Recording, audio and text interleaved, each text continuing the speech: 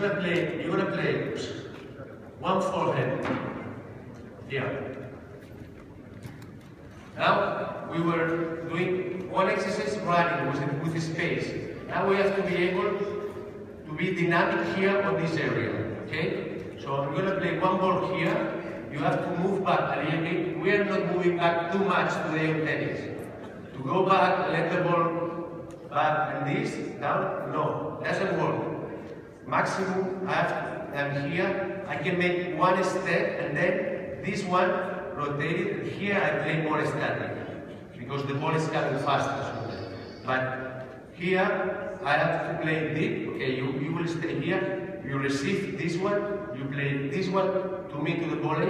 You will do this and right away here. And then I will come back here again. I play this ball and here again. So the reaction from the forehand to the backhand, will have no time and you have to control the time, which is the difficult thing. Okay?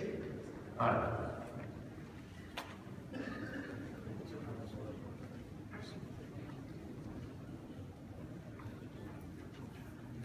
I play with two balls. Eh? Normally I do this exercise, I put the ball there and I ball, I'm here, I it fast so he has less time. And we make, always you can play with the player, is better.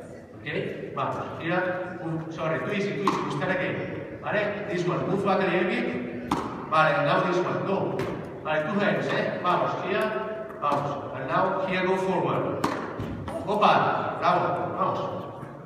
Good, and now here, go forward. Vale, here, move back. Good, go, go, go. Vale, move back, no problem. Next ball is important, white flanking, vamos, here.